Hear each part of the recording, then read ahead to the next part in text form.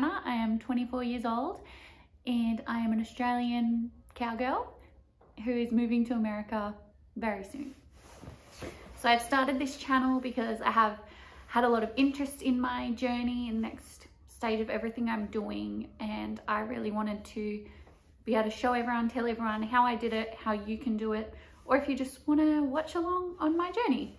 So a little bit of background about me. My, a large part of my family are all horse riders, horse breakers, massive history with in the Western horse industry. So my mum, she lived in America when she was about 18 for a few years. She did a lot of cutting. Um, she's done a lot of Western showing. She's tried just about everything. I have ridden horses my whole life since I was very, very little um, and competed rodeoing and western showing and even some hunter showing and stuff like that. Um, I've gotten older, I've started to train my own barrel horses.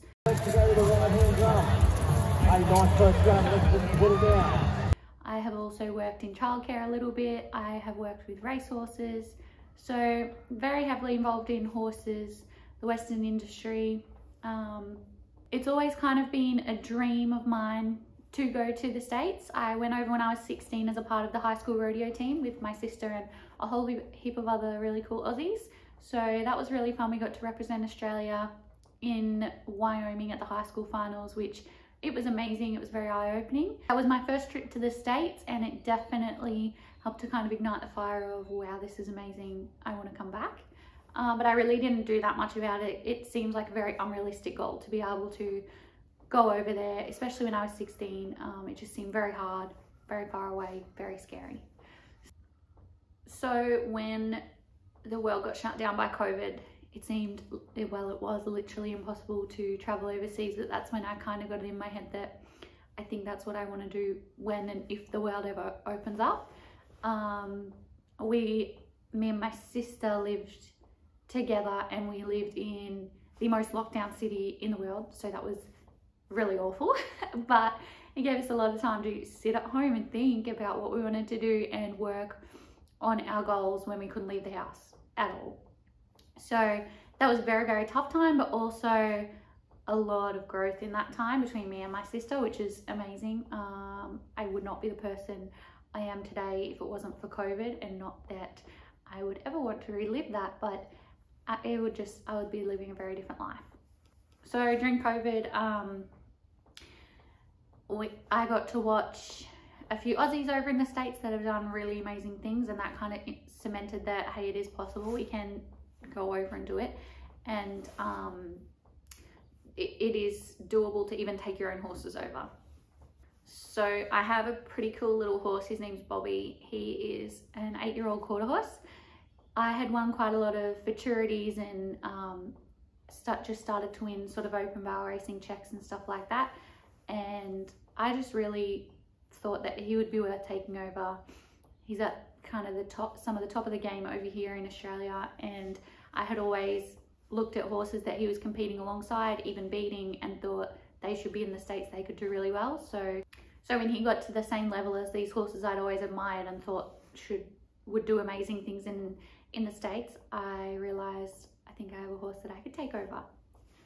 So that's probably going to be a whole nother video of how I got him over there, that whole process. This video, I want to make a little bit more about the visa side of it. So I just want to go into depth, in depth to price, timelines, how I got it done, and how to help people do it if they want to try and get a sports visa. So about a year ago, I started inquiring into lawyers, finding the right law firms that would help me get my sports visa. You do have to use a lawyer to get your sports visa. So I found the lawyers that I used by October. They were Sherrod Sports Lawyers. Um, they are over in the States. They really specialize in sports visas. Um, they have done rodeo people, barrel races, stuff like that before. So I was pretty happy and pretty confident that they would be able to get the job done. So I first started with them in October. Um, the initial lawyer's fees with them was 4,000 American dollars. So that's to get your petition done.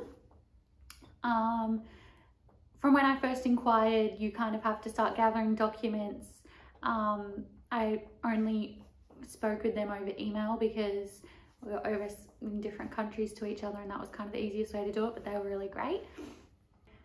I, I just spent the next few months getting together my earnings, winnings, um, major wins, even the smaller wins. Um, you just really have to get as much information together as possible, um, titles, pretty much everything you've won, everything you've contributed to the sport, um, how you've achieved your wins, if you can get letters and references from all your sporting clubs of kind of your achievements,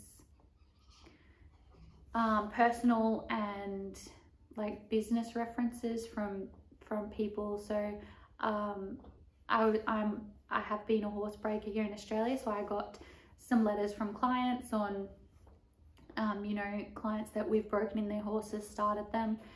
I really just got spent that next that time getting as much information together as possible so that you have a really strong case.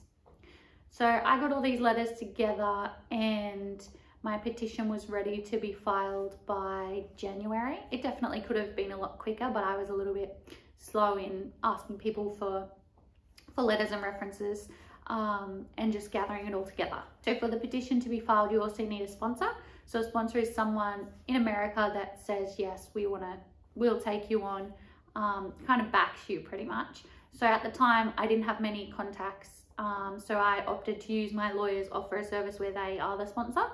So that was an extra a thousand American dollars. If you have contacts um, and all that sort of stuff, you can definitely use them as your sponsor. It doesn't, it's no kind of obligations or, or payments or anything like that for them if they want to be your sponsor and that will definitely save you some money. But I just am very impatient and had no contacts at the time. So I opted to use the my lawyers as my sponsor. So that was an extra thousand American dollars. There is either premium processing or regular processing. Again, because I am so impatient, I paid extra for premium processing. Now, regular processing is between two and five months. They will get back to you with an answer as to if your petition has been approved. Premium processing is 15 days. So at the time I really wanted to go then and there and that's definitely my personality. So I paid, I think for the premium processing, it was about 2,900 dollars American, whereas for regular processing, it's about, I think, four or five hundred dollars. So again, a lot of money you could save there if you're not as impatient as me, but I wanted to get it done. Um, I just really wanted to know and be able to plan what I was going to be able to do. So I wanted that answer back within 15 days or else five months is kind of a really long time to wait. I had started to put everything in motion ready to come over, or to go over. So I really wanted that answer back pretty quick. Now, once the petition is filed the first time, you will get your answer either within five months, two to five months, or 15 days. Um, I got an answer within the 15 days and my first petition was actually sent back. They needed some more evidence. The embassy, I guess, or the government required more evidence. Um, my lawyers did say that this has been pretty common lately because of COVID. There's a massive backlog and they're kind of just wanting to push it back, give us some more evidence, and then we'll look at it again when we're when we have time. So I got some more evidence together, um, just more wins, more letters from sporting clubs. Um, so we have a few associations over here. ABHA, um, I, I really got into how it's live streamed, how it's really important.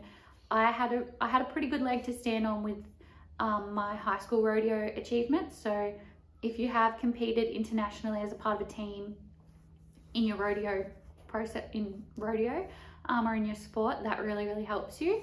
So representing your country and, have, and going overseas, that's a really big achievement. So that really helped me. I got a lot more evidence behind that.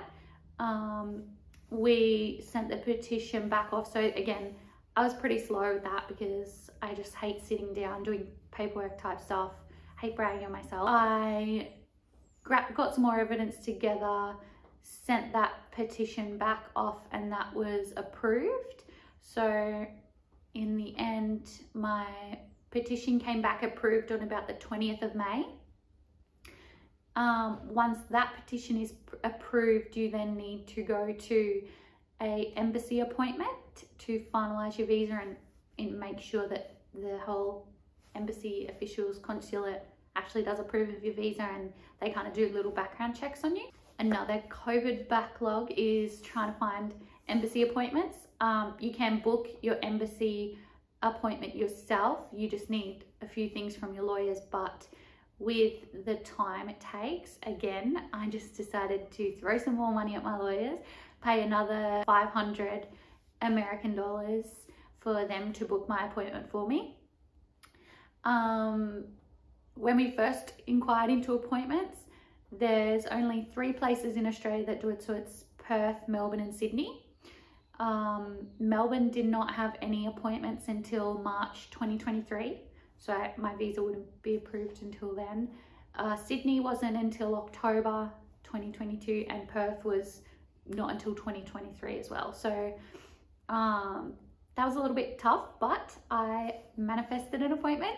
So when I got my first petition back on about the 20th of May, and then had to fly home from the States on the 26th or the 27th of May, um, because I just went over and holidayed on an ESTA for three months. So my ESTA ran out, so I needed to come home. My petition was approved. Um, that was about the 20th of May. My lawyers somehow, because I needed it, found an appointment where someone must have cancelled or something in Sydney on the 11th of July this year, which was only going to be a month and a half after I got home. Um, so they booked that appointment for me. I have no idea. I probably wouldn't have found that if I opted to book the appointment myself. But they found that appointment for me, booked it for the 11th of July in Sydney. Once you have your appointment booked for the 11th of July, you have a whole heap of paperwork that lawyers will send you that you need to take in. Um, you also need to take in your passport and make sure you have a recent passport photo. So I'm from Melbourne, so I had to fly up for a night to Sydney to make sure I was there for the embassy appointment. So this was my experience with the embassy. Um, I got there early because I was not missing this appointment. Um, the security was very strict. I had to turn my phone off. They took my phone, my handbag. All I could really take in was my paperwork, my passport. Uh, the appointment all up went for probably 45 minutes. You Once you go through security, you go up to uh, top level of the embassy where they do visas and passports. Um, the people were really, really nice. Security were nice. The guys working behind the desk were really nice. They just ask you, I guess, a few questions about when you've been over there in the past, if you've had any visas. Really quite just basic questions. They sort of ask if you've had any visas before and then the, I guess the consult appointment, the they just ask you um, if you've got any prior convictions in any countries with, or if you've ever been in trouble with the police. Um, they also just want to know kind of what you're doing, where you're going. It honestly probably was about 10 minutes all up where I was asked questions um, just about my travels and all this sort of stuff. It really wasn't hard at all. You also have to pay one more fee while you're there um, once your visa is approved. So you really could go this whole process and then get to that appointment and they not approve your visa for whatever reason. I assume more so for if you've got any convictions and stuff like that, but I didn't. so once you get your visa approved, you just have to pay another about $150 fee there at the embassy just to have your visa approved. Um, they tell you then and there that your visa's been approved. They take your passport and some of the paperwork and they then send your passport back to you. So I got my passport back within a week. So my appointment was on Monday and I had the passport back by the following Monday. It has my visa stamped in it and yeah, I'm ready to go. So my biggest tips would be if you're trying to get a sports visa, um, get a really good lawyers. It is kind of hard conversing between two countries, so you really need a law firm that's big enough that they can, um, they're really easy to communicate with. My lawyers specialize in sports. Um, they do a lot of boxes, just a lot of very different sports, so they are pretty onto it. If you are thinking about getting your visa, just start compiling your achievements, um, literally anything you can get. If you run sixth, eighth place at a bar race write that down. Um, I started compiling documents, just Word documents um, with lists of all my achievements a few months before I started applying for my visa because I didn't get told that's kind of the best way to go and that definitely helped if you've got stuff ready to send to your lawyers as soon as you kind of pick yourself a lawyer that really helps um, get as many references and stuff from sporting clubs sporting people people that are really high up in the industry um, people with a lot of achievements and accolades if they can write you reference letters that really really helps if you have ever been a part of a team whether it's even just inside Australia but if you've been a part of a national team, that really helps as well. Get as much evidence behind that and how you went, how you performed overseas as well. Even if you are overseas, they really encourage, and if you're just over there on a holiday, they encourage if you can kind of enter any bar races and win some money, even if it's just while you're on holidays. Um, that really helps for when you need to build up a profile if you've already done well competing over there. So all up my total cost for my visa was about $12,000. You can definitely do it cheaper. There's things that I spent the extra money on because that's where I want to put my money and I'd rather it all get done properly. My appointments get booked, uh, everything be professional and finalized because that is not an area I'm great at. Initial lawyer's fees, I guess, were 4,000 American. Um, you don't need to pay the $1,000 for a sponsor, the $500 to book the appointment, or the nearly $3,000 to get premium processing if you don't want to, so can definitely save there. I definitely recommend my lawyers. They were Sherrod Sports Lawyers. I will tag them in this video. I tagged them a few times on Instagram. They were really helpful. They did literally everything for me because I'm not that way inclined um, and they were very patient. I I also could have had the process done probably a lot quicker if I got my butt into gear and knew what I was going to be in for. Um, but that's just me. I don't like to sit down and do paperwork. Um, yeah, they're my main things. Also, don't be scared or intimidated of the embassy appointment. It's not scary at all. It's it was really it was actually a very pleasant process. The security were nice. Everybody there was nice. Oh, I also had to pay an extra $37 to get my passport delivered back to me. So very small cost in the scheme of things, but uh, you either if you can't pick your passport up from the embassy once it's finished you just pay yeah like $37 to have it sent to the post office and then you pick it up from there and you're good to go so I guess the process took me from October last year to July this year to get the visa fully done and finalized I'd say you could knock off a few months there if you got your butt into gear and were a little bit better organized than me my visa is for three years. You can get it for five years, but my lawyers recommended just starting with the three year one first. I do think that there is an option to extend mine to five years, but or else you can in you can always apply for a five year one first straight up in general. Yeah, so that's my visa story. This is just how I did it.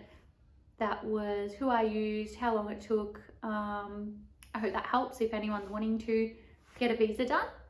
Definitely take some of the tips that I gave you because it can make it a hell of a lot easier on you if you start getting all your stuff ready before you even find yourself a lawyer it will certainly help that's kind of today's video if you would like to hear more from me let me know in the comments i will be trying to post more vlog style videos q and a's um, and just really fun content that us aussies really want to see of what's happening in america if you want to keep up to date with all my videos please subscribe to my channel and give me a like and I will try and keep posting quality content.